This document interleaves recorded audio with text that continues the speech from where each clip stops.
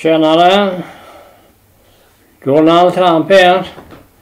The United States President of America, you know? Don't forget that man. No, you don't know who I am. I know who I am. Yeah, that's correct. Ja, gott folk sitter här och kurar och var ute med att preja förut. Och det tror ni att det regnade när jag var ute eller? Det var som att man öppnade alla jävla himlens portar.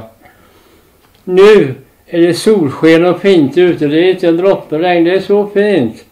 Men varenda gång igår också likadant. Jag var ute. Jag blev så jävla blöt. För det regnade något så kopiöst. Och samma idag. Åh vad tråkigt det är. Regnet behövs i all ära men det blir för fan inte regna när jag ska ut med hunden. ja man kan ju tycka så att det kunde lugna ner sig. Naja, så är det. Ja, så du som eh, skulle ha den här kepsen, om inte du hör av dig nu så kommer jag behålla den själv faktiskt. Och det hoppas jag inte Christer på Filippinerna har någonting emot heller då. Och eh, jag vill hälsa han eh, Roger, Christers bror.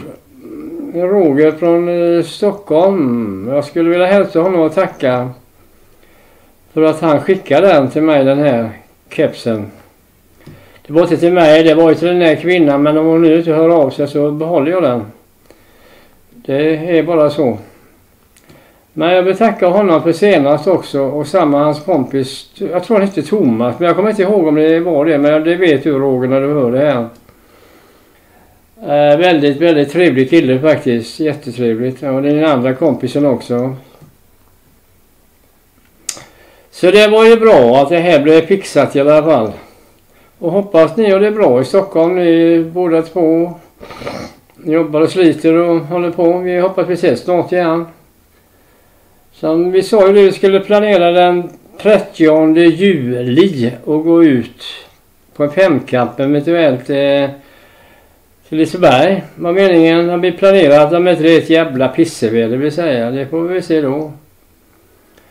Men som sagt, alla är ju välkomna att följa med och vara med där. Det är ju ingen som är speciellt utvald utan alla är lika välkomna. Eh, så det ser vi fram emot. Jag och Joakim och alla andra också naturligtvis. Det hade varit jättekul att få göra detta och träffas live faktiskt. Efter allt mejlande och smsande på att säga och på Youtube bara. Så det hade varit jävligt kul faktiskt. Så det hoppas jag att ni eh, anammar och ser fram emot faktiskt. Ja, det var det det.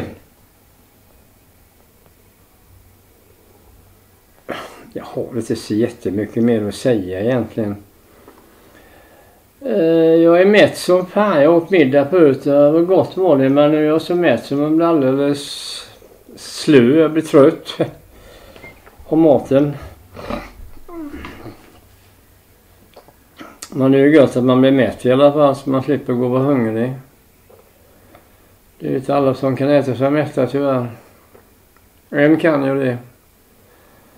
Men det vet man inte hur det ser ut i framtiden med tanke på hur det ser ut i världsläget här både vad det gäller mat och, och all spannmål och allting som de blockerar i Ukraina och Sovjetunionen. Eller heter det? Ja, Sovjetunionen. Ja. Ryssland rättare sagt menar jag. Ryssland.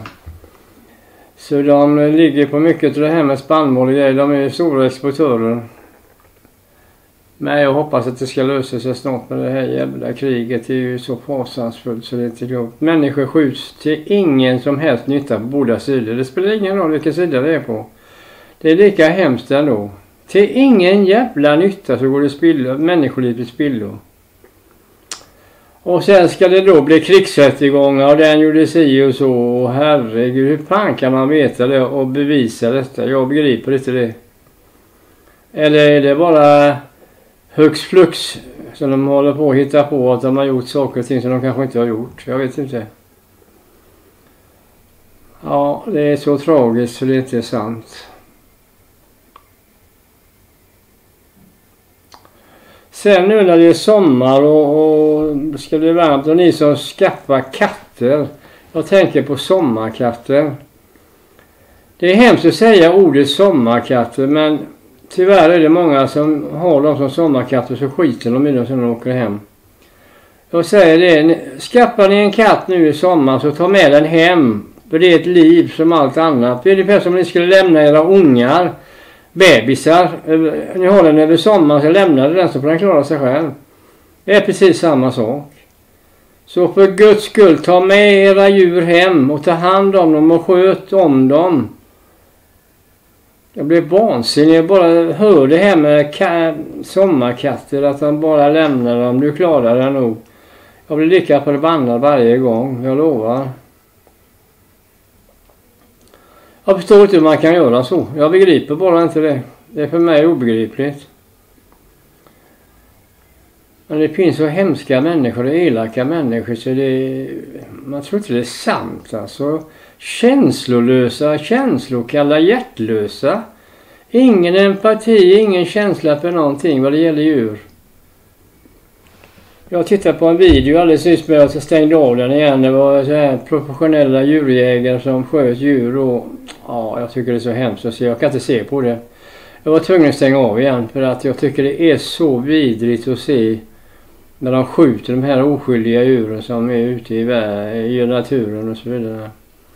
Sen kan jag ju förstå att många arter som vargar och så det kanske behöver hållas nere stammen och björnar och sånt. Det är möjligt. Men jag tycker fortfarande det är fasansfullt ändå att de skjuter dem. Jag kan inte hjälpa det. Jag tycker det är så fruktansvärt. Jag skulle aldrig kunna bli jägare. Aldrig någonsin. Det finns inte på kartan för mig faktiskt. Så, eh, men eh, åter till det här med katterna då. Ta med era små barn hem och kattebarnen och ta hand om dem. Och sköt om dem precis som det vore era barn. För det blir ju mer eller mindre som barn. För mig är Frida mitt lilla barn. Hon ligger här och sover så gott så. Okej okay, gott folk, jag ska inte rabbla så mycket mer. Och ni som inte prenumererar på min kanal, ni är hjärtligt välkomna att prenumerera på kanalen. Och plinga på den här klockan. Så eh, på de nya anvisningar eller nya meddelanden förhoppningsvis om det fungerar som det ska. Så varmt välkomna alla som inte har redan gjort det. Välkomna till min kanal. God bless you. Tjingeling.